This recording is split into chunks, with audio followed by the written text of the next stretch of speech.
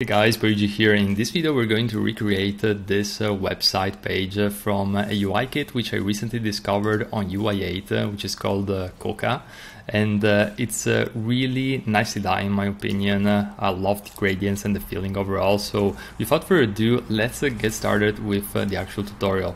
So we're going to open up this new Figma file and as the very first thing what we're gonna do is we're actually going to create a desktop frame such as this one right here 4040 pixel uh, that should be more than enough. And uh, the very next thing we're gonna do is uh, we are going to start recreating uh, the actual logo. So we're going to select the ellipse from the top menu and by holding shift uh, we're going to create uh, this perfect circle shape and uh, also we are going to add a text layer just above this which uh, is going to contain the main letter. Let's increase the size and uh, in this particular UI kit uh, what they're using uh, is uh, this font right here which is DM Sans. So we're going to use exactly that same font. Let's go over here DM Sans and uh, let's uh, increase uh, the size of uh, this uh, circle. Let's make it bold. Now at this point uh, since it's a logo we're going to also use the outline stroke in order to make this whole appearance look more clean. Let's increase the size of this letter. And as the very next thing we're going to use a linear gradient which, which we're going to bring almost uh, at a 45 degree angle and we're going to add uh, both uh, a blue color and uh, a slightly more um, so a lighter tint of blue so going more towards a, a baby blue and uh, this should uh, do the job. Now the C is going to be white so that we can replicate the original logo and uh, we're going to write uh, here the actual name and uh, let's just bring it here above. Doesn't need to be perfect uh, but uh, we should try and uh, attempt to get as close as we can to the original. Now at this point we have the basic logo so we're going to group it using command G. And we're going to select all of this and add a layout grid and specifically uh, we're going to add 12 columns. And the reason why we're doing this is uh, to make it uh, uh easier to structure this uh, document correctly. We're also going to add a little bit of margin on the sides uh, so that it's easier to kind of have some some breathing room already.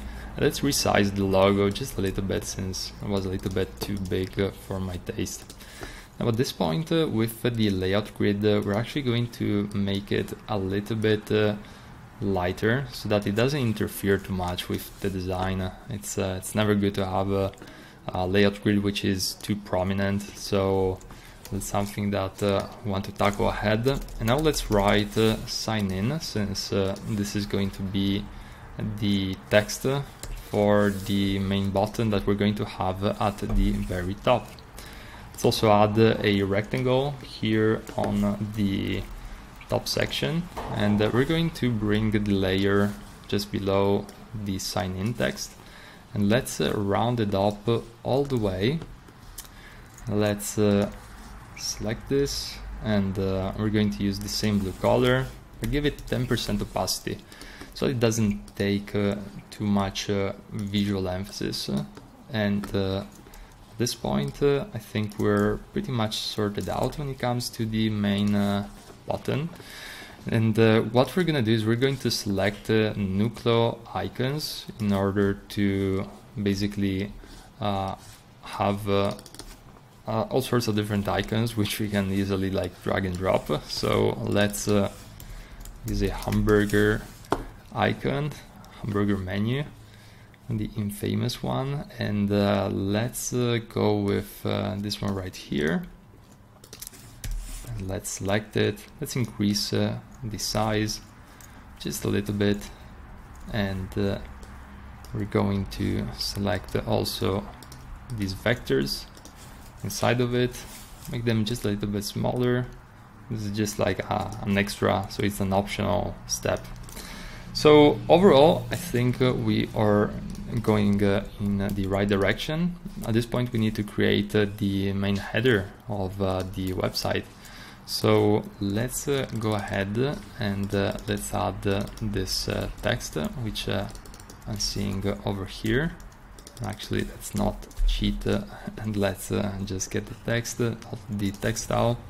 Textile, we're going to edit ourselves and we're going to go with this uh, purple color which is uh, quite similar to the original. Now let's duplicate this text using shift and option alt key. And uh, at this point what we're gonna do is we're going to make this uh, uh, completely uh, dark. And we are going to copy and paste the text. If uh, I can still copy between files yeah for some reason it's not doing it so we're going to do it the old fashioned way. Just type it in. It's not too much so not a big deal. And here we go. Let's center all of this. Center it uh, one more time. And uh, we're going to increase uh, the size uh, considerably of uh, this uh, text. Alright, so we have our H1. Let's uh, give it a little bit less of a letter spacing uh, in between uh, so that it's uh, just looking better overall, a little bit more, more tight. And uh, now we're going to recreate this very interesting part, which is the text which is going around in a circle. And I'm going to copy and paste it just for reference, but I'm going to teach you guys exactly how to do it because uh, it's actually not uh, not that hard in Figma. The very first thing is uh, you select uh, a ellipse and then uh, after that uh, you select a text and if the memory doesn't um, so basically I'm, I'm quite sure there was like a, an anchor point. I think I'm getting mistaken with the Illustrator files. So I'm actually going to go after this uh, after the tutorial um, because uh, I've done this a bunch of times. it's just uh, whenever I'm doing this live, uh, it's not working. So for the time being, uh, we're just going to do this with the copy and paste method. But a tutorial on this is coming up soon, so we're not giving up. We're just losing the battle, but not the war. So we're going to copy the image over here and uh, let's center it. And by the way, if anybody knows uh, how to pull this off in Figma, the text in the circle, feel free to, to leave it in the comment. Uh, feel free to call, call me out on this and uh, yeah, we'll make it happen. So we have our image and the very next thing we're gonna do is we're going to increase uh, the um, height of uh, this frame. Now the wrong way to do it is uh, you select all the frame, you don't press anything and uh, you basically uh, move it along. Sometimes uh, all the layers will uh, will basically stretch vertically. in this case not because we don't really have anything going and stretching but if you ever encountered that issue, simply select command, keep it pressed and move the frame down and it should all resize without uh, losing uh, um, any positioning. So just something to keep in mind. So we're going to add this uh, right here. We're also going to add these two elements which are complementary to the photo itself. Let's increase the size just a bit.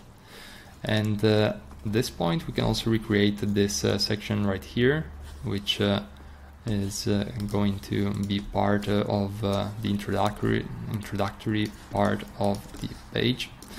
So let's bring this one here, left align, and let's increase the let's just duplicate this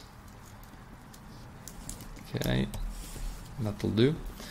And let's uh, make this uh, smaller overall.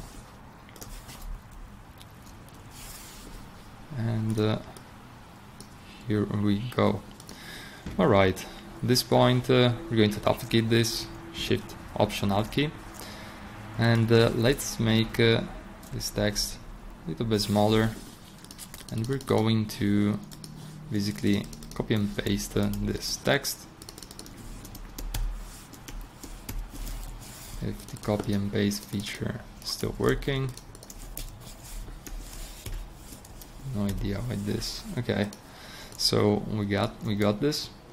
Let's bring it on the right and uh, going to copy also this image and uh, by the way if you're looking to improve uh, your UI design skills or your design skills in general feel free to have a look at the recent plan which uh, I created where I'm basically leaving uh, all of my design courses which I created over the past years, uh, which were valued at over $1,000 and uh, I'm just giving them all away for nine bucks. Uh, so it's uh, all going to be there, uh, all the design theory, theory, all the design software knowledge, and even how, how I find and close high-paying design clients. So if you're interested in leveling up your design skills, feel free to have a look. And uh, for this tutorial, we're pretty much uh, set uh, and done. Hope this was helpful. if it was helpful, feel free to leave a comment in the link in the description. I would be highly much appreciated and I'll see you in the very next video.